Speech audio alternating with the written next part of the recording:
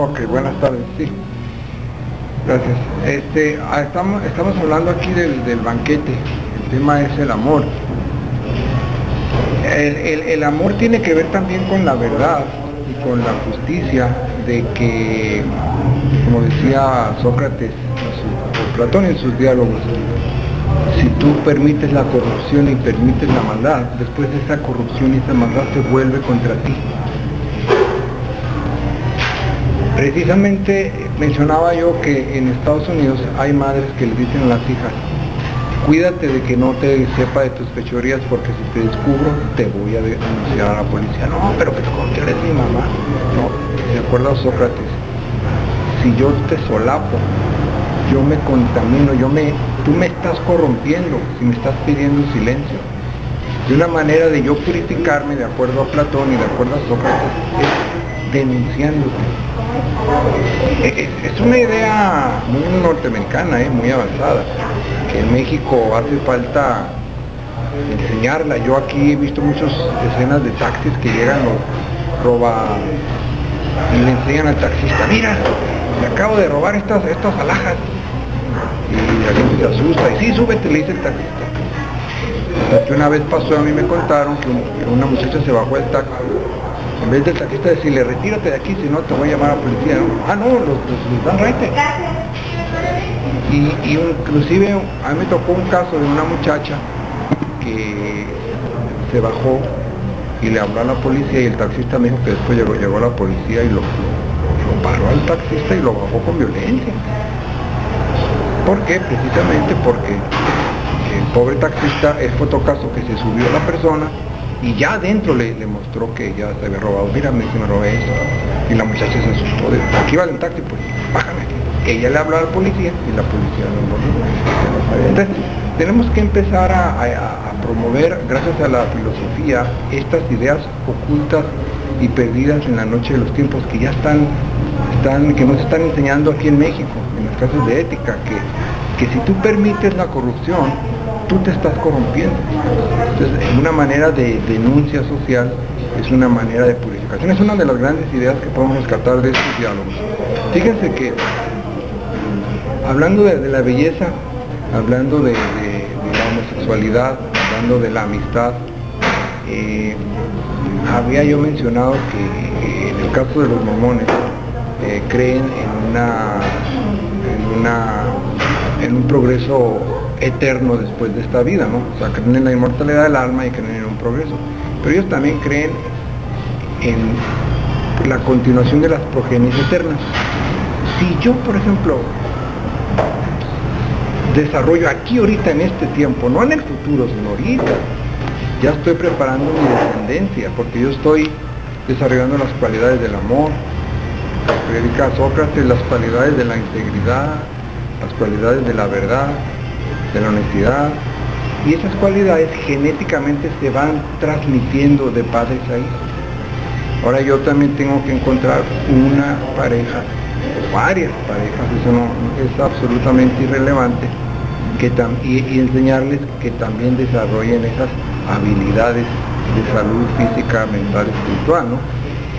Y está comprobado que genéticamente los padres engendran hijos muy similares, está comprobado Entonces lo que urge es que las personas eh, con virtudes se reproduzcan y que las personas que tienen grandes vicios puedan de alguna manera limitar esa, esa continuación de esos, esos errores. Por ahí se había planteado la teoría de la eugenesia, ¿verdad?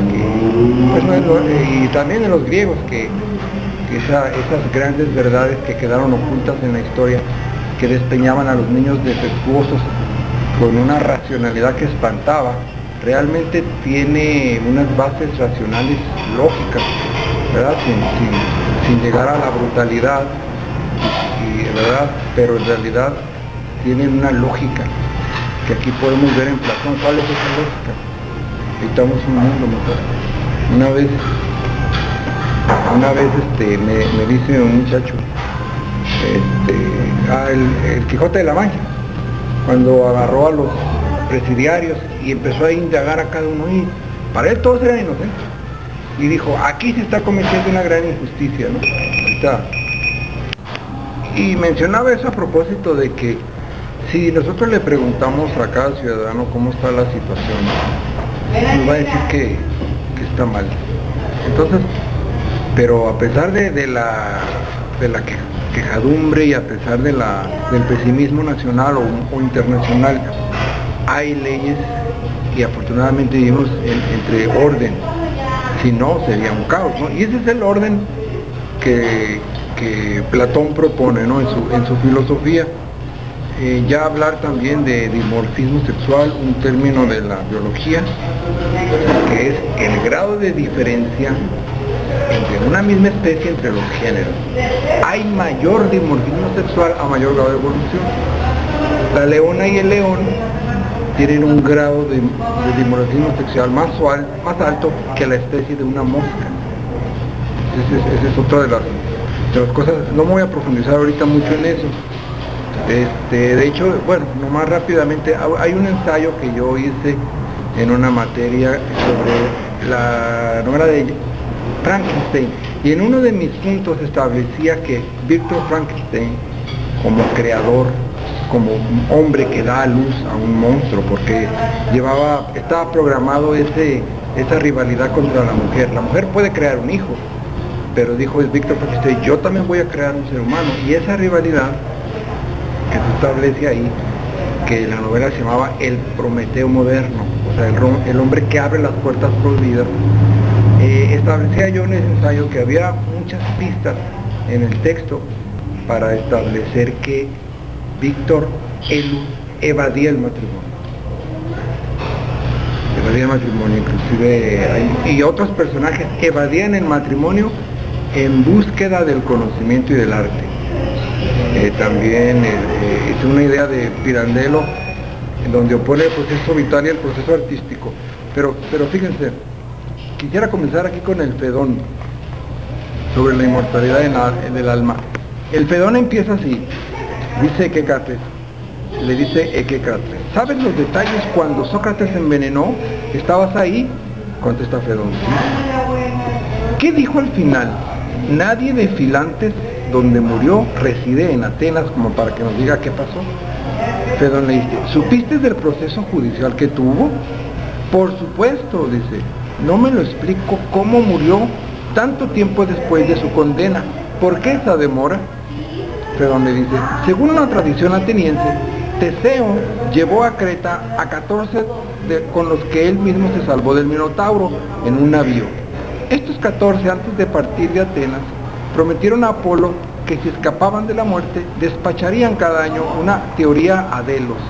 Lo han hecho en un barco cada año, pero es ley que no debe de haber ejecuciones antes de que haya ido y regresado. Esa fue la razón. Y dice que pero ¿qué dijo Sócrates, el grande, antes de morir? El carcelero le permitió que estuviera que estuvieran con sus amigos, por supuesto, dice Pedro.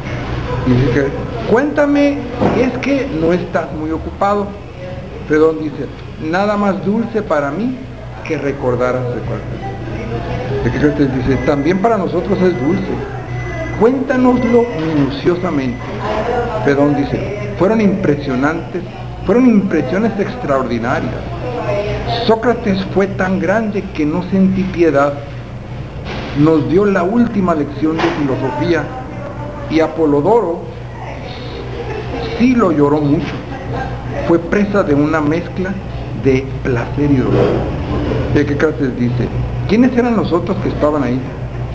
Cristóbulo, su padre Critón, Hermógenes, Epigenes, Esquines, Antísteres, Tesipo de Pearea, Menéxeno, Platón, Platón estaba enfermo, Platón no, no presente, Platón. Y luego le, pregunté que oye, ¿y no había extranjeros? Sí, Simias, Cebes, Fedontles, eran tebanos, Euclides y Terción de Megara. Ahorita, les digo, ¿eh? Bueno, hablando, hablando de, lo que decías, José, sobre, sobre cómo Platón habla y menciona sobre la pederastia.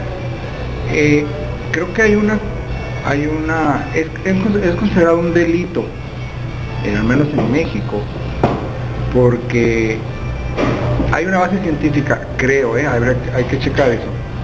Creo que es causa de retardo mental en las víctimas. Y más o menos una explicación que yo entiendo que dan, no, no, me, no me crean, pero lo detona sustancias adrenalísticas o, que tenemos internas para doparnos. Eh, de, detona sustancias, cápsulas de adrenalina interna, el tener este, una, un contacto muy temprano cuando el cerebro no está todavía desarrollado. Supuestamente algo así, pero bueno, no me, no me, no me profundizo. es un comentario en cuanto a ese aspecto. Y sí, continúan ustedes hablando sobre la belleza del banquete, es la, lo que Michel Foucault hablaba de la estética vital, ¿no? Yo creo que de ahí lo, lo tomó Michel Foucault. Ok, bueno, entonces continúa aquí. Entonces dice Fedón, dice, no, eh, se decía que ellos andaban por Ejinal. ¿Quién más estuvo? Eh, eh, estos mismos, dice nada más. ¿Cuántos fueron las? ¿Cuáles fueron las conversaciones? Bueno, dice, diario nos reuníamos en el tribunal a un lado de la cárcel. La cárcel abrían tarde y una vez adentro pasábamos la mayor parte del día con Sócrates. Un día antes de su muerte, al salir de la tarde de la cárcel, vimos llevar el barco de, vimos llegar el barco de Delos. Acordaron llegar temprano al día siguiente. El portero nos los hizo esperar hasta que Sócrates les permitiera entrar. Los once le quitaron las cadenas y dieron las instrucciones para que muriera ese día. Al entrar vimos a Sócrates sin cadenas y su esposa Jantipa sentada a un lado con un niñito. Jantipa empezó a llorar y dijo, aquí están tus amigos. Sócrates dijo a Critón, llévate a esta mujer. Unos esclavos de Critón se la llevaron. Sócrates eh, habló, dobló una pierna y dijo, qué extraño es el placer y qué relación tan cercana guarda con su contrario, el. Cuando el hombre toma uno, se ve forzado a aceptar el otro. Ambos penden de una misma cadena. Esopo debió componer la fábula donde peleando ambos, Dios los encadenó. Cuando uno viene, el otro se presenta. Tras liberar mis grillos, me ha sucedido el placer. Cebes le dice, varios y Eureno, Eureno me preguntaron eh, ¿por qué le pusiste en verso las fábulas a Esopo y por qué compusiste un himno a Apolo si es que tú no eres un poeta? ¿Qué le digo? Dice Sócrates, dile la verdad, que no lo hice por competir con él, sino por probar el significado de ciertos ensueños y cumplir un deber sagrado. El mensaje decía, Sócrates, dedícate a, a las bellas artes y cultívalas yo creí que ello, esa voz me alentaba a filosofar, una de las bellas artes. Pero después que se dictó mi sentencia, pensé por si, por si me equivocaba, tal vez se refería a la poesía. Tal vez la voz me libera del escrúpulo religioso antes de morir, escribiendo versos en obediencia al ensueño. Y precisamente esta parte aquí está de donde Nietzsche sacó que la religión reprime el arte desde, desde, Platón data, ¿eh? aquí, lo estaba, acabo de decir. Se la compuse a Apolo por la fiesta que alargó mi sentencia y comprendiendo que un buen poeta debe inventar ficciones, no siendo bueno para eso, recordé que me sabía de memoria las fábulas de Sopo.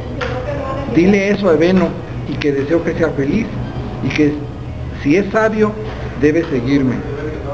Cebes dijo, ¿qué cosa tan rara recomiendas a Eveno? Y le dice Sócrates, ¿qué acaso no es un filósofo? Sí, dice, todo filósofo estará de acuerdo conmigo. Tal vez él no se suicide porque es ilícito.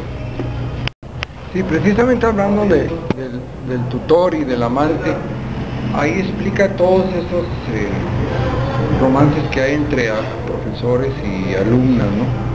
o cómo es el psique del profesor, cómo es la psique del profesor con, una alumna, ¿no? Tiene que ver, data yo creo desde ese... Y, bueno, hablar de, del amor platónico es un amor no físico, ¿eh? porque recordemos que Platón sitúa la verdad no a través de los sentidos, del tacto, no a través de los ojos. Esa no, los sentidos nunca nos van a dar la verdad, la verdad no la va a dar la razón. Entonces, el mundo de las ideas, que no existe en el mundo material, allí están los seidos y el amor para que tienda al amor, al eido del amor, tiene que ser un amor a distancia, amor por internet si quieren, o amor por carta. Tiene que ser un amor que no se concrete y precisamente Soren Kierkegaard mencionaba eso en, este, en, su libro El diario de un seductor,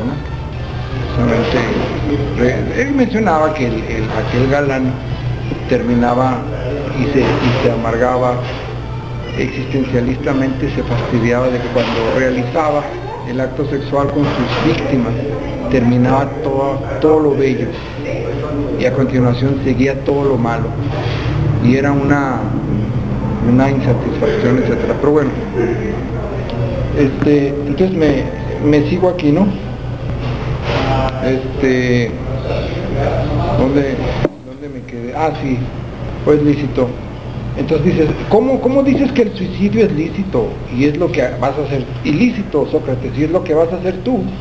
Y Sócrates se enoja y dice, ¿qué pues? ¿Qué no dejó eso claro Filolao? A ver, no, no lo dejó claro. Yo solo hablo de este tema lo que he oído decir. Se lava las manos. Lo voy a revelar. Quizás sea el mejor tema hasta la puesta de sol. Te sorprenderá saber que quienes hayan mejor el morir que el vivir, no tengan facultad moral para producirse el bien por su mano. Deben esperar que un benefactor extraño se los proporcione. Parece un contrasentido, pero tiene una base. Quien se inicia en los misterios, a quien se inicia en los misterios, se le explica que el hombre es un guardia que no debe abandonar su posición. Los dioses nos protegen, somos posesión de ellos. Si un esclavo tuyo se quita la vida, ¿a poco no te enojarías? Así no debe uno darse muerte antes de que la divinidad nos envíe una necesidad fatal como la que ahora se me presenta. Sebes le dice, pero el filósofo ha de desear la muerte, dijiste. Si los dioses nos protegen, es absurdo que el hombre prudente no sienta una aflicción de sustraerse o abandonar su cuidado el hombre sabio deseará acompañarse de quien es más perfecto que él. Debemos concluir lo contrario, que dice Sócrates, el hombre prudente debe afligirse en la muerte. Le dice Sócrates, Cebes, eres duro de roer. Simias dice, Sócrates, lo que Cebes dice creo que vale la pena y va, dirigido contra ti. ¿Qué buscan los hombres alejándose de los dioses y de los sabios, como tú lo haces? Sócrates les dice, Creo que, creo que quieren que me justifique como en un tribunal. Correcto, dice Simón. Voy a la compañía de otros dioses sabios y buenos, hombres fallecidos, mejores que los de este mundo. El destino reservado para los buenos es uno más feliz. Simias le dice, te vas a ir llevando encerrados en tu alma, Sócrates, los motivos de tu opinión sin habernos los comunicado? Tu persuasión te está justificando. No, no, tu, tu persuasión será la justificación que tú des. Sócrates dice, de acuerdo, pero ¿qué es lo que Critón desea decirme desde hace rato? Critón dice, Sócrates, dice el soldado que no hables mucho o tu calor corporal hará que te den dos o tres dosis de veneno. Mira, dile, al, dile que no se preocupe y que prepare dos o tres si es necesario. Sabía, sabía que me contestarías eso, Sócrates. Bueno, precisamente yo, eh, yo creo que Platón debió de haber ideado su teoría de las ideas y de que el mundo material era una cueva oscura, indeseable, ¿no? gracias a esas orgías que, que aparecen mencionadas en el banquete, parece, ¿no? Sí, ahí eh, gracias a esas relaciones sexuales tan brutales que lo debieron de haber a él traumado y así como el desprestigio social que debió de haber sufrido y ese deseo carnal que él nunca pudo controlar, lo hizo dividir la realidad entre, entre lo, lo invisible ideal y lo material oscuro. Pero me llama la atención que Platón asignó al mundo material la cueva oscura. ¿Por qué no, no le asignó la cueva oscura al mundo de las ideas y, decir, esta vida material es maravillosa? No, si fue al revés, Fue como una, un resultado de, su, podríamos decir, de su desvarío. Sería un, una, lectura a lo mejor psicoanalística, ¿no? De, la, de la teoría de la personalidad de Platón. Ahora, este, ah, mencionando lo de los andrógenos que fueron partidos entre dos, decía Sean Kierkegaard en su libro El diario de un seductor que en una carta que le enviaba a una de sus víctimas decía, por eso cuando tú y yo nos unamos, seremos tan fuertes, nuestro amor nos hará tan fuerte como en el principio éramos. O sea, en este caso un andrógeno. Bueno, me continúo aquí estaba yo en en que este entonces dice que, que no hables porque dice Sócrates no, no importa dice que, se prepare dos creo que el hombre que ha dedicado su vida al estudio de la filosofía debe tener más valor ante la muerte y esperanza de una vida mejor el verdadero filósofo se aprende, se ocupa de aprender a morir. ¿Por qué afligirse cuando se presenta lo que toda su vida su cuidado y su pensamiento? Simias le dice, mis paisanos los tebanos dicen que los filósofos desean la muerte y que es lo que se merecen. Sócrates le dice, pues dice la verdad sin, sin saberlo, pero dejemos a los tebanos y hablemos de nosotros. La muerte es la separación del alma y el cuerpo. Simias dice, correcto. Sócrates le dice, ¿debe el filósofo preocuparse por comer, por beber y por los placeres de Venus? Jamás, dice Simias. Entonces, ¿debe poseer magníficos vestidos y zapatos?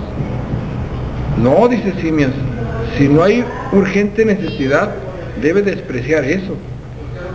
Si uno es un verdadero filósofo. Sócrates dice, la incumbencia del filósofo es alrededor del cuerpo o alrededor del alma. Alrededor del alma, dice. No tiende el filósofo en cuanto más pueda a distanciar el alma de la sociedad del cuerpo, así me parece, dice Simias. Y le dice Sócrates, no sucede que quien no participa de los goces del cuerpo no tiene ningún aliciente en la vida y su, y su vida y su persona se asemeja a un muerto? Es cierto, dice Simeón. Dice Sócrates, ¿es o no es el cuerpo un obstáculo en la adquisición de la sabiduría? En, la en su investigación? ¿Merece fe la vista y el oído? ¿No dicen los poetas que ni vemos ni oímos nada con esa actitud? Si estos dos sentidos no nos dan información exacta, mucho menos los otros restantes. ¿Cuándo recibe el alma la verdad? Si el cuerpo la induce a error. No alcanza el alma la verdad mediante la reflexión. El alma reflexiona mejor cuando no la turba ni la vista ni el oído ni el gozo.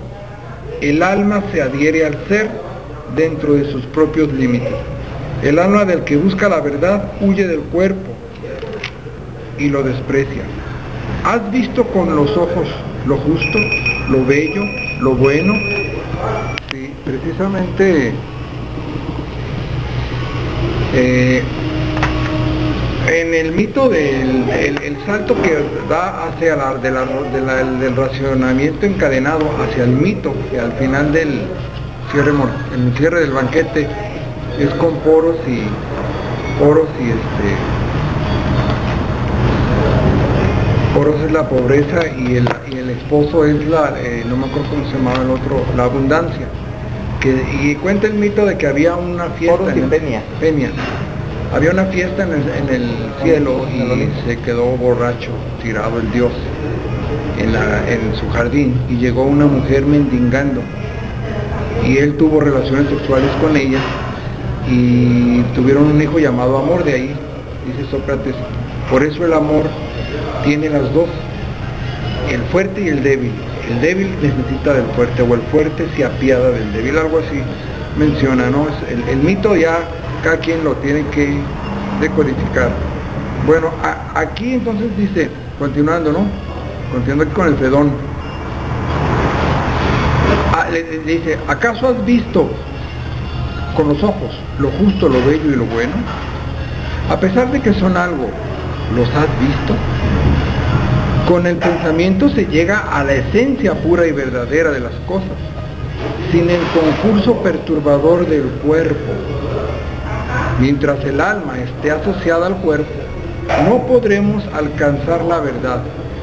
Los verdaderos filósofos tienden a pensar que el cuerpo nos proporciona innumerables distracciones a causa de la necesidad de sus cuidados. Las enfermedades nos nublan la investigación. Las guerras nacen del deseo de riqueza por el cuerpo. La sabiduría se obtiene después de la muerte. Estaremos más cercanos a saber cuando menos permitamos el comercio corporal, apartados de pasiones y puros, estaremos en compañía de hombres justos. No es lícito percibir lo que es puro a quien no es puro él mismo. Siendo puro, muero con esperanza. El alma debe estar pura como preparación a la ciencia. Simias dice, cierto, Sócrates dice, el alma mezclada con el cuerpo es impura. Purificar el alma es separarla del cuerpo, acostumbrarla a recogerse y replegarse en sí misma. Vivir hoy y después de la muerte, suelta y desprendida. Correcto. Sócrates dice, no es verdad que esta libertad, esta separación cuerpo-alma, se llama muerte ¿No desean los verdaderos filósofos esta separación? ¿No es su ocupación buscar que el alma se libere del cuerpo? ¿No es ridículo que se acobarde cuando se ha preparado toda su vida a estar cercano a ella? Los filósofos verdaderos se ejercitan a morir y la muerte no los espanta. El filósofo se irá con gusto a ver a sus seres queridos y encontrarse con la sabiduría si alguien teme morir, es amante del cuerpo, la riqueza y los honores. No va la templanza y, el desapego a la pasión, eh, eh, a la pasión con el filósofo. El hombre común teme a la muerte y cuando la soporta con valor, lo hace por temor a un mal mayor. Son valientes por temor y timidez. Son temperantes por intemperancia. Vencen unas pasiones porque se hayan vencidos por otras. No se vale cambiar placer por placer, temor por temor. La moneda legal es la sabiduría. Ella todo compre, todo cambia, todo vende. La verdadera virtud es inseparable de la sabiduría, sin hacer caso de placeres, temores y demás pasiones semejantes. Sin la sabiduría, las demás virtudes no valen. La verdad es purificación de toda pasión sin purificación, templanza, valor, valor, virtud y justicia, y sin iniciación de los misterios, quien llegare al Hades yacerá en el lodo. Quien vaya iniciado y purificado morará con los dioses. Entonces, aquí, aquí eh, el alma y el cuerpo se deben separar, pero también yo creo que Sócrates cree que dos hombres, uno justo y otro corrupto, o, un, o el justo ayuda al corrupto o el corrupto corrompe al justo. Está bueno